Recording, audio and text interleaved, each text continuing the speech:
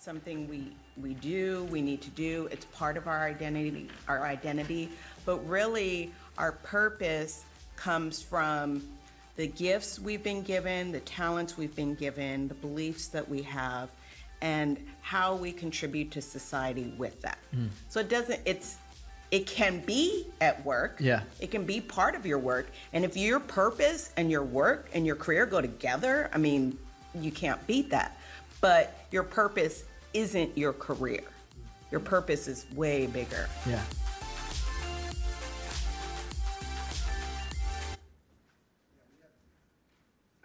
We have some amazing uh, leaders at our church. I want to highly encourage you to go back and listen to the bonus podcast throughout this series. Uh, we just have so many just gifted people doing so many really important things. In fact, we have leaders uh, ready to invest in us. Uh, even today, there's a reconciliation and justice book club that's getting together over lunch. Tamara Tate is leading. If you want to stick around and have a free lunch and talk about meaningful things, you can do that. Or tomorrow night, we have Restore kicking off for the first time in several months uh, a way to find healing and recovery. It's going to be a, a powerful time. Or the new men's community group or the new women's community group. Serving on Sundays. These are all opportunities for you uh, because of incredible volunteers and leaders. And if you're interested in any of those things, of course, at the Connect Spot, they would love to help you. Well, we're in this series called Flourishing. And we did a survey. And in that survey, we'll be revealing some of the results soon. But we were talking about how are we flourishing in relationships and with our finances and physically and mentally. And today, we're talking about how are we flourishing when it comes to our purpose. Now, talking about purpose, it sounds like this would be an easy conversation to have, right? Purpose is on most people's minds. But if you were to Google the phrase, What is my purpose? you will discover there are 7.7 billion results. So, where do you start when you talk about something so big? And there's all sorts of self help gurus and spiritual leaders, moms with blogs, and the never aging Tony Robbins, right? There's lots of things on purpose. But let me just give you a, a couple of thoughts to get us on the same page about purpose. So, a working definition of purpose can be this purpose is the reason for which something is done or created, or which something exists. Now, there's two kind of ways at looking at purpose, two kind of major umbrellas of purpose philosophically. One is existential, and the other is something called essentialism. Existential means there's a demand for finding a purpose out of an otherwise meaningless life. But on the other side is essentialism, which challenges us to find the purpose that already exists for us. And so, for clarity's sake, this is, this is our working definition. Purpose is the endeavor of fulfilling the desire that God intended for each of us by placing breath in our lungs and forming us in our mother's womb. And we say all the time at Gateway that God created you on purpose and for a purpose. And this is bigger than our job, like Jen said. It's bigger than our career. This is about living out who God created you to be. And we are created in the image of God. And so our purpose is to reflect the image of God everywhere we go. Or, like in this verse, it talks about God's glory, reflecting how good, how great, how loving He is. Listen to what it says in Isaiah 60. Arise, shine, for your light has come, and the glory of the Lord rises upon you. See, darkness covers the earth, and thick darkness is over the peoples, but the Lord rises upon you, and his glory appears over you. In this dark and broken world, you and I can actually become the light to the world as God shines through us, as we reflect his image to the world around us. But how do we do that when life can be so difficult, when the darkness seems to be overwhelming? Well, there's a great story in the scriptures about a man named Daniel. And I want to spend some time talking about him today because Daniel was son of nobility saw leadership in his future only for his people to be destroyed, and to be taken kidnapped, held hostage in Babylon. And it's in that we pick up the story in chapter 1. Then the king ordered Ashpenaz, chief of his court officials, to bring into the king's service some of the Israelites from the royal family and the nobility. Young men without any physical defect, handsome, showing aptitude for every kind of learning, well informed, quick to understand, and qualified to serve in the king's palace. He was to teach them the language and literature of the Babylonians. The king assigned them a daily amount of food and wine from the king's table. They were to be trained for three years, and after that, they were to enter the king's service. Among those who were chosen were some from Judah Daniel, Hananiah, Mishael, and Azariah. The chief official gave them new names to Daniel, the name Belteshazzar, to Hananiah, Shadrach, to Mishael, Meshach, and to Azariah, Abednego. Some of you recognize those last three the VeggieTales movie, Rack, Shack, and Benny, right? But I want you to imagine for a moment how difficult this must have been for these young men on their way to nobility and royalty and now enslaved, now oppressed. And more than likely, they were actually castrated. And you thought your job was bad, right? They had been forcibly removed from their homes, and now they're living in a strange land with strange language, and they're given new names. And this was a common practice. In fact, what, was, what they were trying to do is actually change their entire identity, not what their parents hoped for them, but now connected to the gods of the Babylonians.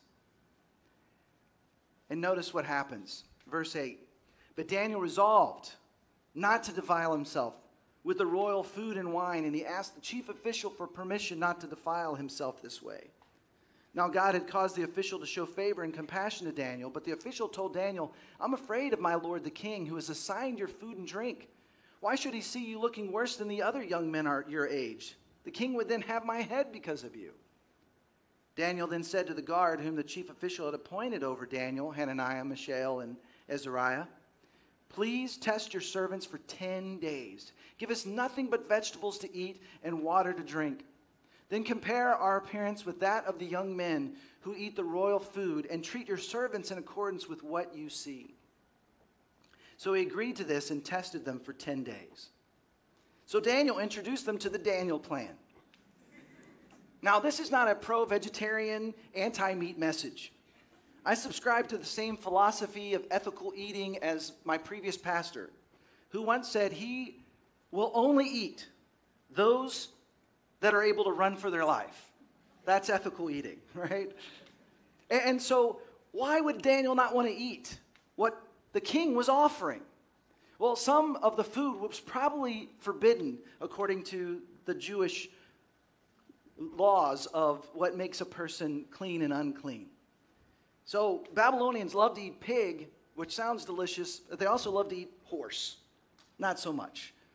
And so, for him, it could have been the Jewish taboo food decrees. Or it could be that they were eating meat sacrificed to the gods of the Babylonians. Or it could be that simply eating the king's food was accepting the king's patronage. It was a declaration publicly of dependence on the king. And perhaps Daniel did not want to be seen as dependent on King Nebuchadnezzar, but instead on his God. We're not exactly sure.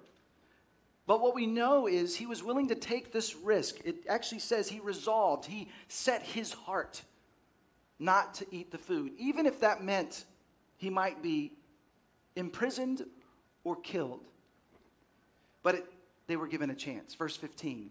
At the end of the 10 days, they looked healthier and better nourished than any of the young men who ate the royal food. So the guard took away their choice food and the wine they were to drink and gave them all vegetables instead. They all were forced to have the Daniel plan.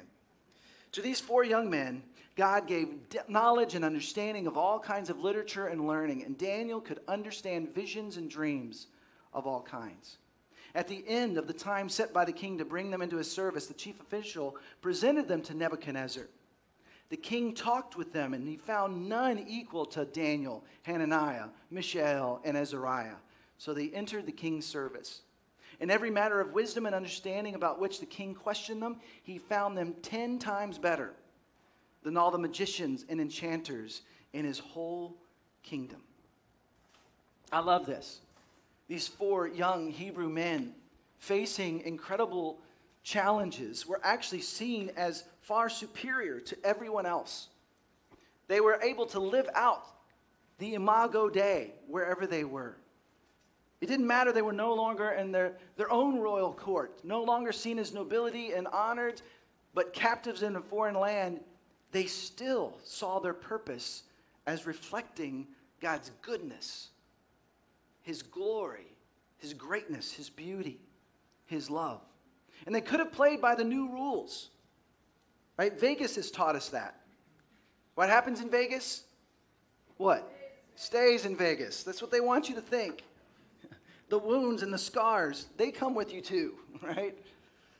But Daniel and his friends have every excuse to eat and live differently, but their response is just test us. Verse 12, just test your servants for 10 days. Give us a chance. And God saw their faithfulness to not only him, but to the original imago Dei, the original design, the image of God. And he gave them an ability, a supernatural ability, to actually understand visions and dreams, to have a knowledge and understanding, 10 times more so than those around them. See, when we trust God, God does something in us. We become vessels for Him to move in ways that we do not give permission when we're not trusting Him. See, Daniel wasn't trusting God to get something from God. But what happens is when you step out in faith, you're walking in the context of God's presence. This garners his attention. It activates something in us and through us. In verse 18, again, it, the king saw them and talked with them and realized these men are far superior to all the others.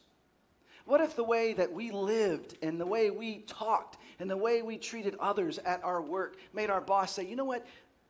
I'm not sure about following Jesus, but the way these people live is so different. They're even better at their job than others. See, these were not good circumstances for them. And yet they stayed steadfast. See, here's what's frustrating about our purpose is our purpose never changes even if our circumstances do. See, our purpose is steadfast, but the way we are challenged to live it out is fluid. So, being carried off to Babylon was not part of the plan. But in Babylon, God was able to do something in them that actually made them better than they would have been had they stayed in Jerusalem. See, one of the great things about God is He can take something that's terrible, that others may have meant for evil, and somehow bring beautiful things from it when we trust Him. See, your purpose is not what you do, it's what happens when you trust your life into God's hands. See, God did something significant in these young men in Babylon. In Jerusalem, they were being bred to be without physical defect, to be handsome and qualified. But in Babylon, God was doing something in them to where they could lead a nation filled with God's righteousness. In Jerusalem, they would have had the best learning and they would have been well informed. But in Babylon, in the midst of the suffering, by trusting God, God brought supernatural ability into their life. In Jerusalem, they would have smelled like money and riches, but in Babylon, they were thrown into the fires but came out smelling like they had been with the Son of God. In Jerusalem, their future was still being written, but in Babylon, they were writing a story that we're talking about now, 2,500 years later. And what is true of God then is true of Him now. He has created you on purpose and with a purpose. But let's be honest, sometimes it's hard to live out that purpose when circumstances are challenging, when life is so hard. Sometimes we're just trying to survive. Many of you know that my dad died a couple weeks ago. He'd been struggling with memory issues for the last few years, but he was still physically in, in great shape. He was playing pickleball up until Easter, mowing the lawn, fixing things around the house. Very active and healthy 74 year old. In fact, I have uh, uh, videos of him uh, at Barton Springs Pool back when he was 67. Here's my dad. It's called a watermelon. Or this next one, flipping a half twist. Yeah, you should have heard the Barton Springs crowd, you know, in that moment. He's always been so active. And then all of a sudden this summer, what we heard had been Alzheimer's. In addition to it was cancer. Now, the beauty is, I have to tell you that we had many opportunities to say goodbye. And some of us have not had that opportunity. And I've lost family members before. I've lost close friends before. I've helped with many funerals, but something about losing my dad, it's been really hard. And I can tell you that part of what's helped me through this is the way you you have reflected the image of God to us. Your calls, your text, your invitations, your hugs, your love in the midst of all this. But I have to tell you, there was a moment just a few weeks ago before he died where I was really struggling.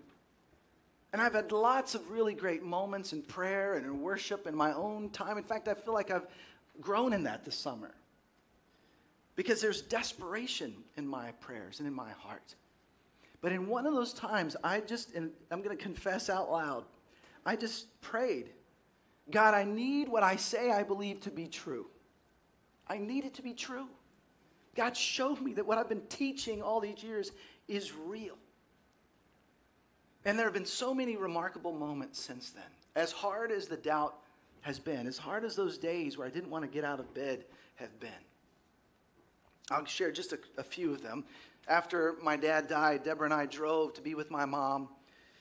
And my brother was on his way as well. And that afternoon, after trying to help her around the house and at the memory care center where he lived for a couple weeks, we started sharing stories about my dad.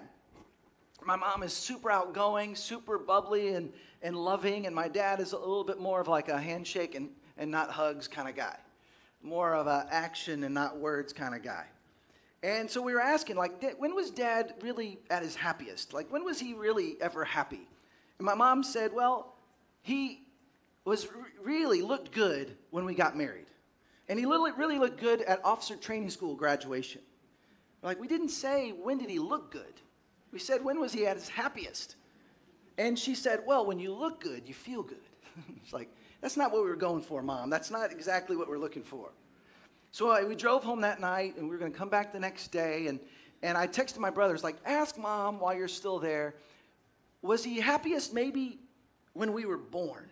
Like maybe that'll jar his mem- her memory for like moments when he was really happy because we have a lot of pictures of our dad and he's not smiling. He was annoyed with all the pictures my mom wanted to take. And my brother, immediately after I asked, ask mom about when we were born if dad was happy, he sent back this picture of me and my dad. He's beaming. I don't remember that picture. Of course, I don't remember that moment. But I, I then, as we went back the next day, we started finding picture after picture of my dad with the biggest smiles. Picture with him with my son, Caleb, playing on the ground or with my daughter, carrying her on his shoulders. It was like God knew I needed to see these pictures. I needed to know this about my dad. God was comforting me, comforting me in the midst of that. Well, on that night, second night, driving back to my mom's, I mean, the sunset was gorgeous. We have amazing sunsets in Central Texas. But for some reason, this time really struck me. And I remember that prayer. As I saw the sunset, I remember that prayer that I needed proof. And as I was looking out of the, over the lake in the house where my parents lived, my grandparents lived since 1971, it goes way back in the family, I took this picture of the lake, of the sunset. And there's no filter. I'm not a good photographer. I was using an iPhone, that helps a great deal. But just that rain in the distance and the color in the clouds, I just felt overwhelmed with how God is so powerful. And then I have to tell you that I, I and by the way, there's way more proof. There is a God and there is life after death than just that picture I took. Read Imagine Heaven. Look at the scriptures. Talk with others who followed God. And I have to tell you, when my dad died, I didn't read the Bible that day and I didn't read the Bible the next day. It wasn't that I was angry. I was just, honestly, I was just kind of numb. There's lots to do. And I decided to read the Bible and go to God through His Word. Like, God, speak to me. I, I still need help. I need hope. And I came across this verse, Psalm 27. This was the verse of the day. I, I didn't know where to even look, so I just went to my Bible app and just looked at the verse of the day, which says, Wait for the Lord. Be strong and take heart and wait for the Lord. I needed to hear that. I ended up reading the whole psalm, which talks about how God is our light and salvation. There's no reason to fear, that He invites us to dwell in the house of the Lord forever. And then it said, Though your father and mother forsake you, the Lord will receive you. Now, my parents have never not been there for me, but my dad is physically no longer here. And I remember reading that, thinking, God was reminding me He will be there for me.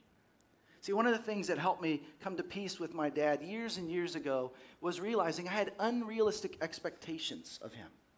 I think we all do of others. We expect our parents or our siblings or our spouse or our friends to meet some of our deepest needs that only God can truly meet. But the, the verse right before, verse 14, says, I remain confident of this I will see the goodness of the Lord in the land of the living. Wait for the Lord. Be strong and take heart and wait for the Lord. I was so encouraged. I felt like God was just speaking to me, answering my prayer. And then the next day, it was this one. John 11 says this Jesus said, I am the resurrection and the life. The one who believes in me will live even though they die, and whoever lives by believing in me will never die. Then it has, Jesus asked, Do you believe this? God was asking me, Do you believe this? And I was able to say, Yes, I do. There's another miraculous moment. I shared a, I couldn't even share it two weeks ago. It was the day, my last chance to see my dad. And I may not be able to share it now, but I'm going to try. But my brother had told me the last day he saw him was a Sunday morning. It was about 5:30 in the morning because he had to drive all the way 5 hours back to East Texas. And he told me, he's like, it was amazing. I was crying, and dad comforted me. He just started patting me on the back as I hugged him. He said, I think I figured out why we never felt that emotional connection from dad. We were never up early enough. He's like, you got to go early and see if you can catch dad before his defenses are up. And so Tuesday morning, I got up about 5 o'clock, drove the hour and 15 minutes to where my dad was staying. And I got there, and he was asleep. And at this point, this whole last week, he'd really been asleep all the time. He was in so much pain, and they had him on morphine and all these things. But I still had a moment with my dad. And I held his hand, and it wasn't limp, but it wasn't, he didn't squeeze my hand either. But it, I held his hand, and I just told him how much I loved him, how grateful I was for him. I told him I was sorry for anything I may have done that hurt him. I told him I forgive him, knowing that he never wanted to hurt me. And I told him that you can find rest. You don't have to hang on anymore. You can find rest. I played a couple songs in the room with him, and he never really woke up. I didn't get what I had been looking for. I didn't have that moment until I walked out of the room. And as I walked out of the room, a little sweet old lady was standing there, like she was waiting for me. And I looked at her and I said, uh, do you need something? And she looked confused. Now, this is an Alzheimer's unit, so that's probably how she truly felt. And I said to her, or she said to me in that moment, after I asked her and she looked confused, she said, What is your name? And she put out her hand. So I put out my hand, I, I shook her hand, and then she grabbed my hand with her other hand. And I told her my name. I asked her hers. And then she looked at me and she said, Can I give you a kiss? And I said, Sure. So I turned my cheek. She gave me a kiss on my cheek. And then, still holding my hand, she looks at me with the brightest smile and she just says, You are a good man. And then I said, Can I give you a hug? So I give her a hug. She hugs me back. I wish her a good day, and I leave. And I'm just kind of shocked. See, what happened in that moment was God gave me what my dad never could give me. Not because my dad was a bad dad, but because he's a human being. My heavenly father knew exactly what I needed. And he gave it through Caroline. Her name's Caroline, which I found out later from Amber. Caroline means a free one. God was telling me that I'm free. I don't have to worry or wonder if I got everything I needed or if I said everything I said. Yeah. But that's the kind of God that we follow, one who knows our deepest needs and can meet our, those needs when we turn to Him. See, God revealed Himself to me. Have you allowed God to reveal Himself to you? I believe God will when we ask Him, when we seek Him. This last week, we did a, a, bit of an experiment. It was a really beautiful moment. We gave six artists of different ages, ethnicities, backgrounds, blank canvases. We didn't give them any direction. We just simply played some music and said, Paint what you feel. It was beautiful to capture the process of them creating, these artists creating something from nothing. Watch this.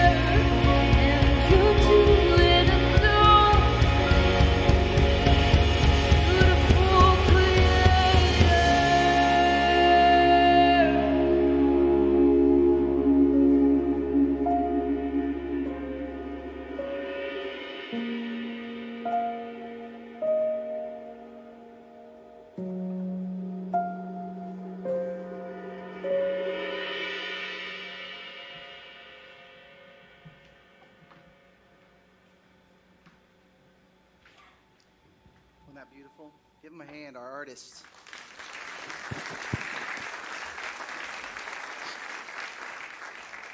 I'm holding an original artwork from Ashley Higgins, age seven. We had John Lee, we had Layla, Etchiona, Don Tate, all from Gateway South, along with a few others. And I want you to think for a moment this was a blank canvas. And it was really just a, an idea in her mind that she was able to put on this space. And, not only that, not only did we have six artists creating, but Aaron Ojeda and Kelsey and Hannah just singing that original song that the others wrote. And then an editor putting together the video. And if these creatives can, can do something so beautiful, what on earth could the creator of the universe do with your life, with my life? When we put our hands in the when we put our life in the hands of the master artist, the scriptures tell us we become his masterpiece. Ephesians 2:10 For we are God's handiwork, his masterpiece, created in Christ Jesus to do good works which God prepared in advance for us to do. You may be thinking you have nothing to offer.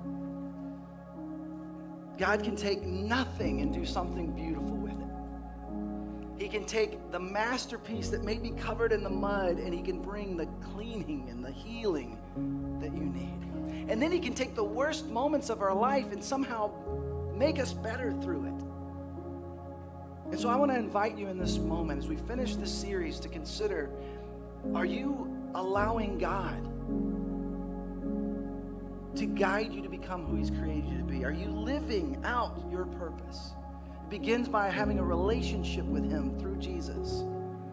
And it continues as we stay connected, as we move into that relationship, growing in that relationship, but also in community with His children. So I just want to pray for us in this moment and ask that God might show each of us what our next step may be to becoming who He's created us.